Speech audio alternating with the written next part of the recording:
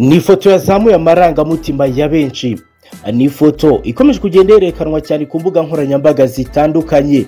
Iyi akaba ari ifoto ya majoro wiringoma uyu akaba ari umuvugizi wa M23 mu bya gisirikare.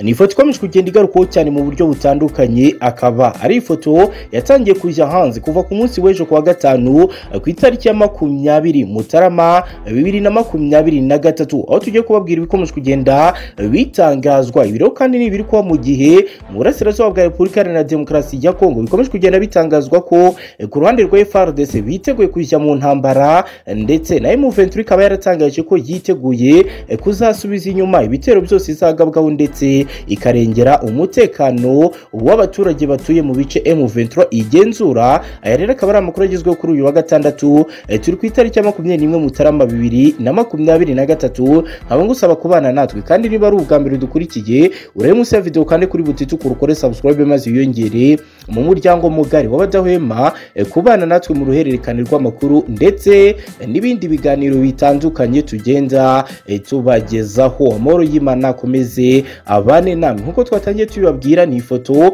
y'umuvugizi w'umutwe mu makumyabiri na gatatu mu bya gisirikare majoro w'ingoma akaba yagaragaye yambaye impuzankano z'igisirikare cya FARDC ibiro bikaba byateje urujijo abatari bake ndetse bamwe batangira kugenda bavuga ko ibintu bishobora kuzaba bibi cyane isaha iyo ari yose mu gihe imirwano yaba yongeye kubura. Ni mu gihe kandi ifoto yashyizwe hanze. N'uwiyita general sultani makenga ku rubuga rwa twitter gusa ntabwo bizwi niba koko iyi akawunti ya twitter ari iya general sultani makenga koko uyu komanda wa emu makumyabiri na gatatu. Nk'uko rero bigaragara iyi foto ya majoro w'ingoma akaba ari ifoto imugaragaza yambaye impuzankano nshya y'igisirikare cya repubulika iharanira demokarasi ya kongo iriho ibendera cyangwa se idarapo rya repubulika iharanira demokarasi ya kongo ubutumwa bw'uyu wiyita general sultani makenga ku rubuga rwa twitter yerekeresheje iyi foto bukaba bugira buti majoro w'ingoma umuvugizi wa emu makumyabiri na gatatu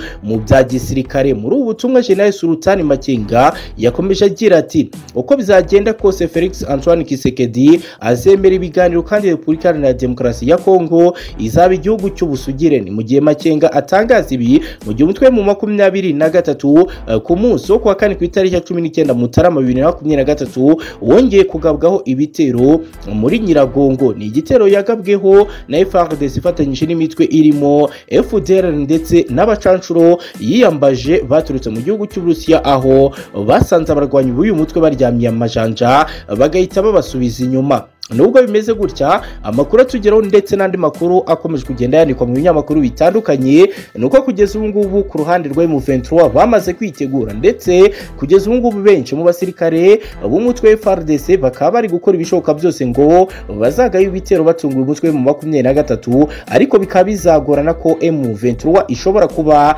yatsindwa. Ibiro bikaba biterwa nuko kugeza ubu ngubu amakuru ayoboye ayandi akomeje kugenda atangazwa ari ay'uko uko bizagenda kose M23 yamaze kwibikaho bimwe mu bikoresho bya FARDC nk'uko bamwe bagiye babitanga ku bitekerezo bagiye bandika munsi y'iyi foto akaba ari ibitekerezo byagiye byandikwa mu rurimi rw'igifaransa n'igiswahili. Turagerageza tubishyire mu kinyarwanda tubabwire ibiri gutangazwa nyuma y'uko abaturage babonye ifoto ya majoro wiringoma yambaye impuzankano z'igisirikare cya leta FARDC bamwe rero bakaba bakomeje kugenda bagaragaza ko ibi ibintu bizaba bibi cyane. Reka duhere ku witwa amane amani nzereka aimable. Yakaba yagize ati ni byo koko biragaragara ko M23 ifite ikoranabuhanga ridasanzwe. Ni gute?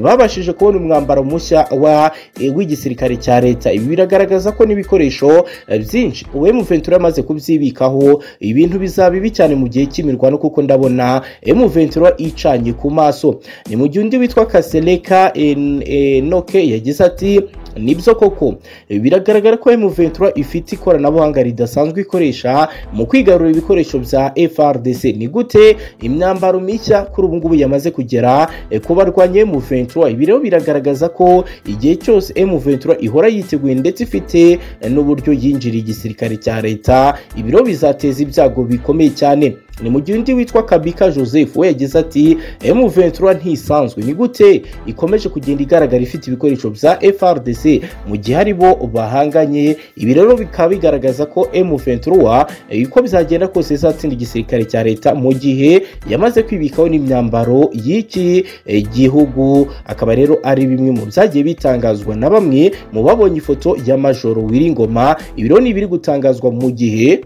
nyuma y'igihe kinini hari kuba imirwano ikomeye mu burasirazuba bwa repubulika iharanira demokarasi ya kongo by'umwihariko mu ntara kivu y'amajyaruguru ahabaye imirwano yahuje igisirikare cya leta frdc ndetse n'inyeshyamba za m23 ibyaje kurangira ibihugu bitandukanye ndetse n'imiryango mpuzamahanga itandukanye bahisemo gukora ibishoboka byose bashake igisubizo ku bibazo biri muri iki gihugu ibyatumye ku itariki ya makumyabiri na gatatu gushyingo bibiri na makumyabiri na kabiri i rwanda. Muri angola habera ibiganiro byahuje abakuru b'ibihugu by'akarere k'ibiyaga bigari aho banzuye ndetse bareberera hamwe uburyo ki ibibazo biri muri iki gihugu byakemuka.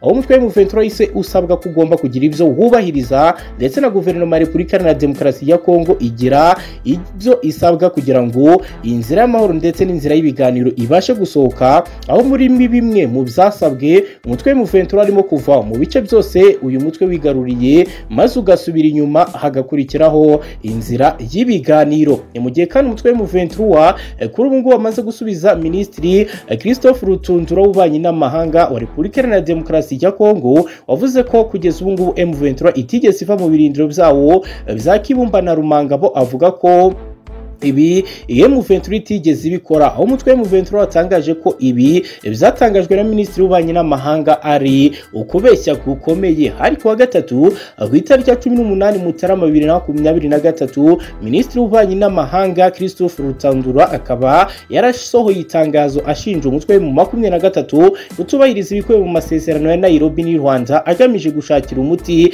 ibibazo by'umutekano muke muri repubulika iharanira demokarasi ya kongo ni nyuma y'uko inama y'ibihugu by'akarere k'ibiyaga bigari yateraniye i rwanda muri angola ku itariki ya makumyabiri na gatatu gushyingo bibiri na makumyabiri na kabiri ikaba yarasabye umuventura guhagarika imirwano ndetse n'ingabo za kongo na zo zisabwa guhagarika imirwano ndetse basaba umuventura kuva mu duce twose yigaruriye mu ntara kivu y'amajyaruguru maze ibi byarangira inzira y'ibiganiro ikaba yatangira. Ni mu gihe rero ubwo iyi nama yabaga ingabo z'ibihugu by'akarere yateraniye i Dar es Salaam muri tanzania ku itariki ya cumi na gatanu ukuboza bibiri na makumyabiri na kabiri ikaba yarabaye M23 ikaba yarahaye M23 itariki ya cumi na gatanu mutarama bibiri na makumyabiri na gatatu nk'itariki ntarengwa yo kuba yamaze kubahiriza ibyo yasabwe.